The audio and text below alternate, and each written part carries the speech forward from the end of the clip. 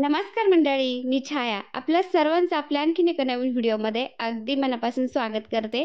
तर आणखीन एका नवीन दिवसाची मस्त अशी सकाळ सकाळ सुरुवात झालेली आहे. सर्वप्रथम सगळ्यांना श्री स्वामी समर्थ. तर आज काय झालं आमचं रात्रीचंच ठरलं होतं की आम्हाला कॅन्टीनला जायचंय आहे सामान घ्यायला. कारण दोन महिने झाले आम्ही गेलोच नव्हतं. तर तितक्या साळे भाऊंचा फोन आला की मला मोठी गाडी लागते. मुलीला मला दवाखान्यात घेऊन जायचे औरंगाबादला. तर त्यांची मुलगी आहे ना छोटीशीच एक महिन्याची. तर ते बोलले की खूप छोटी येते आणि बसने जायचं म्हणल्यावर तिला त्रास होईल. आणि गरम तर इतकं होत होतं ना ऊन पण पडत होतं. आणि उमस जास्त आहे कारण पावसाचं वातावरण होतं आहे आभाळ एकदम निबार येते आभाळ पाऊस येईन बहुतेक. तर ते बोलले मग मोठीच गाडी घेऊन जाऊ. तर हे साळवे भाऊ येत ना फौजी साहेबांच्या बरोबर ड्युटीला असतात पोलीसमध्ये. आणि राहायला पण आमच्या जवळच आहेत जास्त काही लांब नाही आहेत तर मग त्यांनी मोठी गाडी नेली. ते गेले साळेभाऊ गाडी घेऊन. आणि हे शुभमला फोन केला होता. तर यांनीच आमच्या फर्निचरचं सगळं घरातलं काम केलेलं आहे. तर त्याला बोलवलं होतं कशासाठी? आमचं जे मंदिराचं ॲक्रेलिक बसवलेलं आहे ना तर त्याला थोडासा तडा गेला होता काहीतरी. तर आम्ही घरातलं फर्निचर केलं आणि सगळं त्याच वेळेस मंदिराचं काम केलं होतं मंदिर बनवून घेतलं होतं फर्निचरमध्येच ह्या शुभमकडून. त्यानंतर तीन चार वर्षांनी म्हणजे पाठीमागच्या वर्षीच आम्ही हे ॲक्रेलिक बसून घेतले कारण हे खूप ट्रेंडिंगमध्ये आहे ना आता. त्याच मंदिर सगळे ॲक्रेलिकचे बनवतात सध्या. म्हटलं आपलं पण थोडंसं चला वेगळं बनवूया. मग आम्ही ना ती लाईटीची स्ट्रीप बसवली पाठीमागून त्या ॲक्रेलिक शीटच्या पाठीमागं तुम्ही बघू शकता किती छान बसवलेली खूप मस्त वाटत होतं. आणि ते ॲक्रेलिकचं शीट बसवलं दोन्ही तिन्ही बाजूंकडून. तर ते सिलिकॉननी चिपकवलेलं होतं ना तर ते सिलिकॉननी सिलिकॉनच असं सैल झाल्यासारखं झालं. त्याने सिलिकॉननी ॲक्रेलिक सोडलं. मग ते ॲक्रेलिकचं शीट निघायला लागलं होतं. मग ते शुभमला बोलवलं. तो ते ॲक्रेलिक एकदम साफ स्वच्छ पुसून आहे ना तो चिपकवत होता त्याला. आणि शेवाळे काका आले तर शेवाळे काकांनी आपलं टेरेस किचन गार्डनचं काम केलं आहे ना आपलं जे रॅक वगैरे सगळं बनवलं आहे मकडीचं वरचं जाळं केलं आहे ना तर ते पाहायला आले कसं काय केलं आहे गार्डन काय तर त्यांची असं शेवग्याचं जे झाड आहे ना शेंगाचं तर ते शेवग्याच्या शेंगा पेरूचं झाड आहे त्यांचे तर पेरू असं घेऊन आले तर असं चक्रीला आले ना ते प्रत्येक वेळेस ते असं काही ना काही घेऊन येत राहतात. तर शेवाळे काका बोलले की तुमचं गार्डन कसं झालं आहे आता पाहू मी बनवून गेल्यापासून आलंच नाही तर मग शेवाळे काका मी आणि फौजीसाहेब आलो वरती. तर तुम्ही बघू शकता आपलं टेरेस किचन गार्डन जरा थोडंसं हिरो हिरो व्हायला लागलंय. तर माझ्या भावानी आणि मुलांनी त्या शिरीर काठ्या आणल्या ना. फौजीसाहेबांनी असं मस्त ताटी बनवली असं टॉमॅटोला सपोर्ट वरती बांधण्यासाठी. तर शेवाळे काका बोलत होते खूप भारी केलंय. मधल्या पायपात घाला.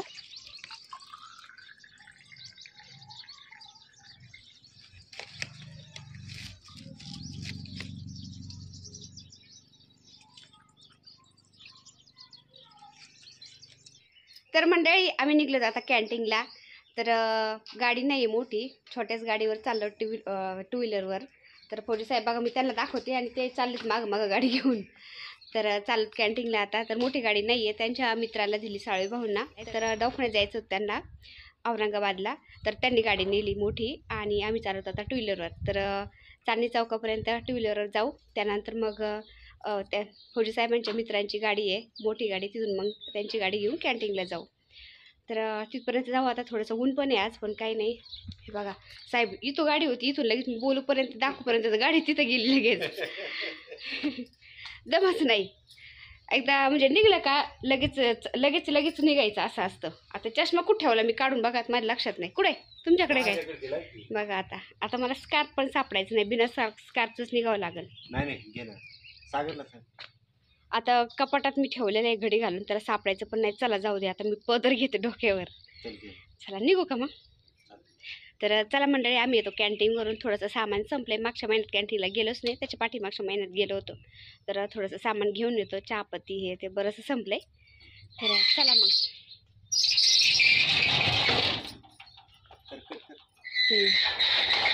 दरवाजा नाही लावून घेतला त्यांनी. चला नौटंकी.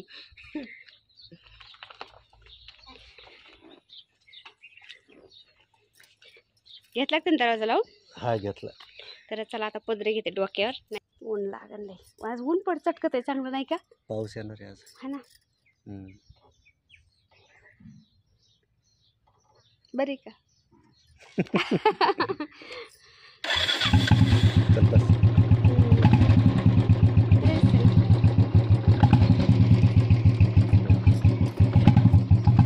चला. साहेब. तर आम्ही निघलो आता चांदणी चौकापर्यंत. तिथे गेल्यानंतर यांच्या मित्राची मोठी गाडी घेऊ. तर तुम्ही बघू शकता आमच्या इकडं अशा बकऱ्या आहेत ना चरायला येतात. आणि नागपंचमीला मी काय केलं आघाडा व्हायला नव्हता पूजेमध्ये. तर एका ताईची कमेंट आली की तुम्ही पूजेमध्ये आघाडा व्हायला नव्हता तर ताई कसं आहे ना आमच्या इकडं अशा बकऱ्या चरायला येतात. आणि असं आघाड्या वगैरे काही ठेवत नाही ते सगळं खाऊन घेतात. सगळं मोकळं वातावरण आहे ना. तर जनावरं भरपूर चरायला येतात. तर फौजी साहेबांचे मित्र आदिनाथ भाऊ येणार होते. मोठी गाडी घेऊन त्यांना यायला दहा पंधरा मिनटं टाईम होता अजून. त्यामुळे फौजी साहेब बोलले की आपण इथं फालुदा खाऊ तोपर्यंत. आता आम्ही थांबलो रॉयलमध्ये फालुदा खायला. तर असं नगरला आम्ही. आमकाच इथं रॉयलमध्ये फालुदा खायला थांबत असतो. आम्हाला दोघांना इथला फालुदा खूप आवडतो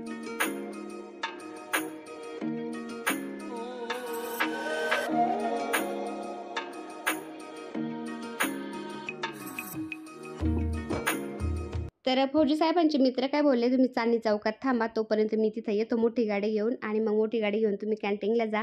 कारण कॅन्टीनवरून भरपूर सामान आणायचं असतं आणि ते टू व्हीलरवर काय आणता येत नाही. त्यांच्या पण खुर्च्या दोन चार आणायच्या होत्या. ते बोलले मग मोठीच गाडी घेऊन जा.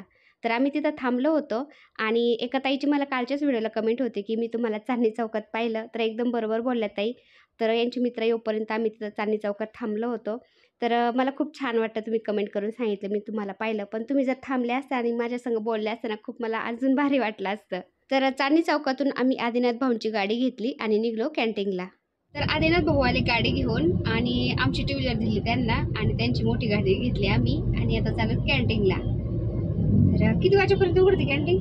साडेतीन वाजेपर्यंत उघडते म्हणले कॅन्टीन. दुपारी थोडा वेळ बंद होत असती. तर आता कॅन्टीन उघडूपर्यंत जाऊ कॅन्टीनमध्ये आम्ही. इतकं म्हणजे आज खूप गरम होते नाही का? पाऊस. लय गरम होते आज. आणि रोजच्या कडेला उभं राहिलं होतं ना मध्ये मध्ये ऊन पण पडत होतं. इतकं ऊन लागत होतं ना. आधी भाऊनला येऊपर्यंत आम्ही थांबलो होतो तिथं थोडा वेळ.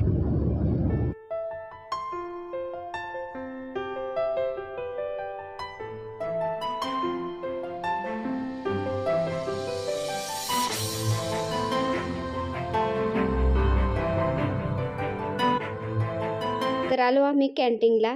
तर ह्या कॅन्टीनला आहे ना अजिबात गर्दी नसते. जास्त दरवेळेस आम्ही इकडंच येतो. आणि बाय चान्स म्हणजे काही सामान मिळालं नाही तर मग तिकडं जात असतो. पण तिकडं खूप गर्दी असते.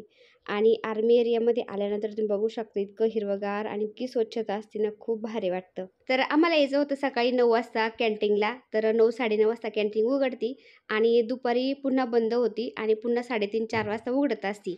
पण आमचं काही सकाळी येणं झालंच नाही गाडी नसल्यामुळं. त्यामुळं आम्ही आलो आता साडेतीन वाजता निघलो होतो तिथून आणि चार वाजेपर्यंत इथं पोहोचलो. आता अजून काही शटर उघडलं नाही कॅन्टीनचं फौजी साहेब आले एंट्री करून तर इथं आल्यानंतर पहिली एंट्री करावी लागते आणि मग आतमध्ये कॅन्टीनमध्ये जावं लागतं. तर या कॅन्टीनला आहे ना खूप सामान असतं भरभरून सामान असतं. जे हवं ते मिळतं आपल्याला बारीक बारीक आयटमसुद्धा मिळतात. आणि याशिवाय गर्दीसुद्धा नसती बरं का इथं. अजिबात गर्दी नसती. तर तुम्ही बघू शकता सगळे सेक्शन वेगवेगळे केलेले असतात इथं. पावडरचं वेगळं तेलाचं वेगळं. त्यानंतर क्रीमचं वेगळं असं भरपूर वेगवेगळे शिक्षण असतात त्यामुळे आपल्याला पटकन सापडतं पण. आता इथे बघा लहान मुलांचं शिक्षण वेगळं आहे. जॉन्स बेबी लोशन त्यानंतर डायपर हे सगळं वेगवेगळं इथं मिळतं. तर बेबी लोशन घेते मी जॉन्स बेबी लोशन. तर तुम्ही बोलता की आता इथे मुलं मोठाले तर ही कशासाठी घेते? तर हे माझ्यासाठी घेते मी. तर मला आहे ना अजिबात कुठलीच क्रीम म्हणजे सूट होत नाही. त्यामुळे मी तोंडाला काहीच लावत नव्हते फक्त ॲलोवेरा जेल लावायचे. आणि मला आहे ना तोंडाला थोडे थोडे वांग यायला लागले होते हार्मोन्स चेंज वगैरे याच्यामुळं. तर मी एकदा फौजी साहेबांबरोबर पुण्याला गेले होते पुण्याच्या डॉक्टरकडं. शरद मित्तार एक डॉक्टर म्हणून त्यांच्याकडं. तर ते बोलले की तू काही लावत नाही ना चेहऱ्याला त्याच्यामुळे ते जास्त वांग दिसायला लागले. तुझ्या चेहऱ्यावर हीट वगैरे पडते ना चेहऱ्याच्या स्किनवर त्यामुळं. तर मग त्यांनी काय म्हटले की लहान मुलाची स्किन खूप म्हणजे सेन्सिटिव्ह असते. त्या लहान मुलाला जॉन्सूस बेबी लोशन सूट होतं तर तुझ्या चेहऱ्याला आरामशीर सूट होईल. तू हे लावून पहा. तर मी तेव्हापासून ते लावायला लागले ना मला एक मस्त सूट झालं. म्हणजे थंडीमध्ये सुद्धा अशी ड्राय स्किन पडायची ना मी काहीच लावत नव्हते. तर असं कसतरी व्हायचा चेहरा. तर आता हे जॉयसेस बेबी लोशन लावते ना तेव्हापासून एकदम अशी स्किन एकदम मुलायम राहते आणि तेलकट वगैरे सुद्धा होत नाही. कारण माझी स्किन आहे ना चेहऱ्याची असं ऑइली आहे ना तर त्यामुळे हे जॉन्स बेबी लोशन काय तेलकट वगैरे काहीच नसतं. तर ते मला सूट होतं. तर तेव्हापासून मी ते लावते. तर मला पार्लरचा मेकअपसुद्धा कधी जमत नाही. आत्तापर्यंत मी एकदासुद्धा कधी पार्लरचा मेकअप केलेला नाही. मला ते सूटच होत नाही. त्यामुळं आपलं हे जॉन्सन बेबी लोशन लावते मी फक्त. तर असं काही लग्न कार्य असलं ना तेव्हासुद्धा मी मेकअप कधीच नाही केलेला आत्तापर्यंत फक्त मी कधी काही असलं ना कार्यक्रम वगैरे किंवा असं सणवार तर थोडीशी लिपस्टिक लावते आणि कधीमध्ये थोडासा पावडर लावते.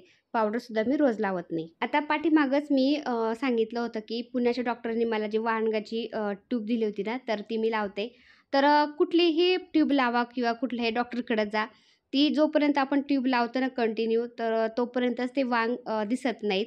जेव्हा आपण गॅप पडतो ना दोन चार दिवसाचा ल ट्यूब लावायला लगेच ते काळे वांग येत ना चेहऱ्याचे दिसायला लागतात. असं होतं परमनंट ते जातच नाही काही करून. तर मी तर वैतागले त्यामुळे मी काहीच नाही करत आता. ते कधीमध्ये लक्षात राहिलं तर ट्यूब लावते नाहीतर मग ती पण नाही लावत.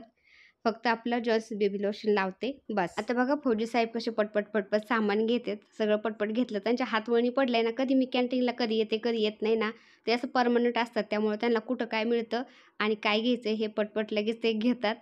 तर पितांबरी पण होती तर तर पितांबरी पण मी घेत असते आपल्या देवांना पंधरा दिवसातून एकदा उजळण्यासाठी. आणि आता पावसाळ्याचं आहे ना खूप मच्छर असतात. घरामध्ये तर आम्ही ऑलआउट वगैरे लावतो पण बाहेर झाडं आहेत ना तर झाडांच्या मुळं थोडंफार का होईना मच्छर असतातच. तर त्यामुळे ह्या कॉईल घ्यावा म्हटलं आणि जे गुड नाईट रिफिल आहेत ना ते आपण घ्यावा.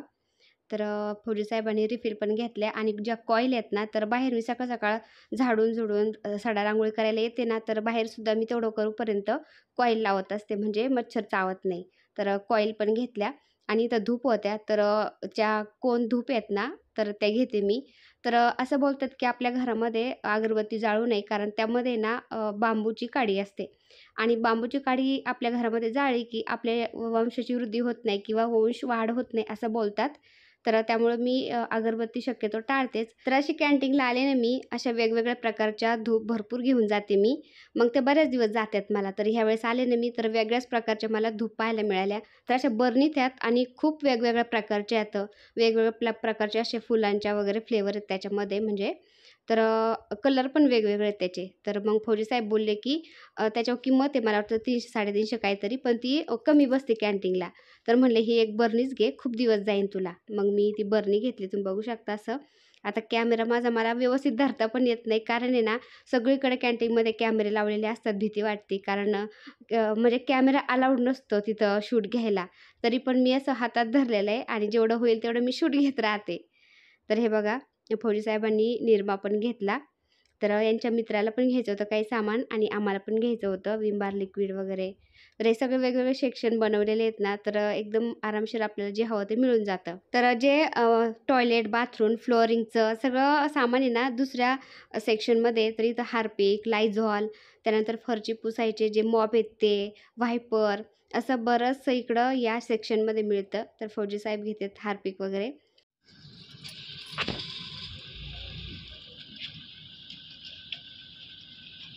ए चल की तिथं. चल. धर. तर हे बघा आता किती सामान भरलंय. आणि आदिनाथ भाऊने एक कुकर घेतलाय. ते बघा तीन चार खुर्च्या घेतल्या तर टू व्हीलरवर हे आणताच आलं नसतं सगळं. त्यामुळं मग मोठी गाडी घेऊन आलो आम्ही. आता फौजी साहेब बोलले की मधल्या शिटावर आपण सगळं सामान टाकून देऊ. आणि यांच्या डिक्कीमध्ये टाकायला काही जागा नाही कारण त्यांच्या डिक्कीमध्ये ना सी एन जी आहे. त्यामुळं सामान जास्त काही जागा नसती. तर मधल्या शिटावर मग खुर्च्या पण ठेवल्यात आणि बाकीचं सामान पण फौजीचा बन शिटाच्या खाली शिटावर असं टाकून दिलंय आता सामान सगळं टाकलं आम्ही गाडीमध्ये. त्यानंतर जी ट्रॉली ना ते फौजीसाहेब ठेवून आले तिकडं आणि निघलो आम्ही लगेच. तर असं इथं झाडं झुडं स्वच्छता आणि रोड जर बघितलं ना खूप भारी वाटतं. असं वाटतं की आपल्या इकडले पण असे रोड असते. झाडं स्वच्छता असते तर किती भारी झालं असतं. तर किती छान वाटते तुम्ही बघू शकता हिरवं हिरवंगार मस्त सगळीकडं. तर आर्मी एरियातून आम्ही बाहेर निघलो आणि लागलो आता रोडला.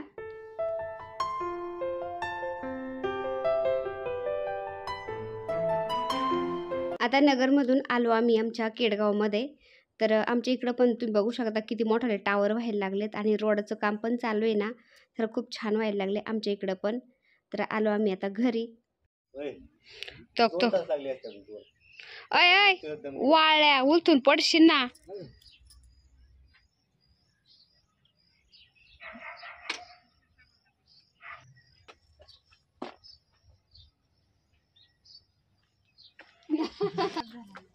आता इथे माझा भाऊ काय बोलतो तुम्ही सामान घेऊन आलेत लय दमलेत. मी तुम्हाला सामान काढून देतो. बाहेर सगळं आता घरात घेऊ लागतो. मग मुलांनी आणले टप घरातून सामान भरायला.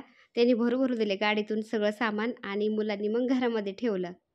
तर आता एका ताईने विचारलं होतं की तुम्ही गॅसच्या वरती जी खिडकी आहे ना तर त्या खिडकीमध्ये काय टाकत असता? तर त्या ताईंनी सॉरी ताईनं दोन वेळा कमेंट केले त्यांनी. तर मी सांगण सांगण म्हणलं होतं पण माझ्या लक्षातच राहिलं नाही. तर परवा पुन्हा कमेंट आले ताईंची की ताई तुम्ही मला ते दाखवलंच नाही काय टाकलं तर ताईंनं हे वुडन फ्लोरिंग मॅट आहे तर काही ठिकाणी काय होतं अशा फरच्या खराब झालेल्या असतात खूप दिवसाच्या आणि मग किंवा आपल्याला फरची आवडली नाही तर त्यावरती आहे ना हे वुडन फ्लोरिंग मॅट आहे ना टाकतात. म्हणजे असं ते चिपकून घेतात एकदम चिपक म्हणजे फरचीसारखंच वाटतं ते चिपकवल्यानंतर. तर ते पुसून घेता येतं. एकदम त्याला म्हणजे आपण धुवून काढू शकतो पाण्याने एकदम चकाचक निघतं. तर आमचे सॉफ्याचे कुशन बनवले ना तर त्या भैयांच्या ओळखीचे होते मॅटवाले. तर फौजी साहेब त्यांच्याबरोबर एक दिवस गेले होते काहीतरी सोफ्याच्या कामासाठी. तर फौजी साहेबांनी तिथे पाहिले तर असे तुकडे तुकडे भरपूर त्यांचे वेस्टेज पडलेले होते. तर फौजी साहेबांनी मग असे दोन चार तुकडे आणले होते घरी. मग मी त्याची अशी कटिंग केली आणि खिडकीमध्ये टाकलं काचेच्या शेल्फवर टाकलंय. त्यानंतर किचनच्या समोर एक काउंटर आहे त्याच्यावरती टाकलंय. बाहेरचे चप्पल स्टँड आहे ना त्याच्यावरती टाकलंय. हे बघा. तर खाली असं हे पांढरे ना काउंटरच्या वरती असं हे सनमायका. सनमाईका तर त्याचे ते असं खराब होऊ नये त्यासाठी मी याच्यावरती असं कापून टाकलंय. तर फौजी साहेबांनी आणलं होतं हे. तर याला फ्लोरिंग मॅट म्हणतात. आपली फरची आपल्याला आवडली नाही किंवा खूप जुनी झाली खराब झाली तर त्याच्यावरती हे ना असं फ्लोरिंग मॅट आहे ना बसून देतात. तर हे असं वेस्टेज पडलेलं होतं ना तर मी आणलं आणि ते असं कापून टाकलं आहे तुम्ही बघू शकता. तर एका ताईने दोन तीन वेळा विचारलं होतं की गॅसच्या वरती खिडकीमध्ये तुम्ही काय टाकता? तर मला सांगायला उशीरच झाला जरा. तर सॉरी ताई. तर आज टाकावं म्हटलं. त्यामुळे मी ही क्लिप आहे ना मध्येच ॲड केली. तर आजचा व्हिडिओ मी इथंच एंड करते. व्हिडिओ आवडला असेल तर एक लाईक नक्की करा. चॅनलवर नवीन असाल तर प्लीज आपल्या चॅनलला सबस्क्राईब पण करा. चला तर भेटूया पुन्हा अशाच एका छानशा व्हिडिओबरोबर तोपर्यंत बाय व्हिडिओ पाहिल्याबद्दल सर्वांचे खूप खूप धन्यवाद. सर्वांना श्री स्वामी समर्थ.